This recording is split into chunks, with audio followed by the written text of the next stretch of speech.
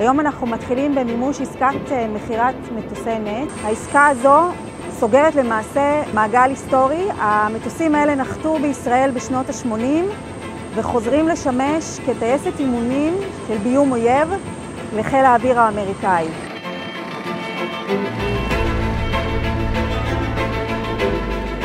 העסקה תניב עשרות מיליוני דולרים למערכת הביטחון. ארבעת המטוסים הראשונים מועמסים היום על האנטונוב שנחת כאן כרגע, ובהמשך השנים הקרובות העסקה תושלם לכדי 29 מטוסים.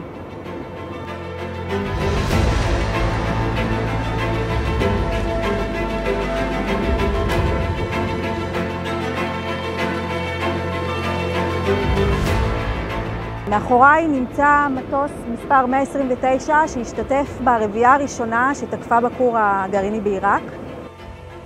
אגף סיבת אמון על קידום הייצוא הביטחוני, עוסק בקידום התעשיות הביטחוניות ואמון על מכירת עודפי צה"ל, ובכך בעצם מניב עוד הכנסה למערכת הביטחון מעבר לתקציב הביטחון.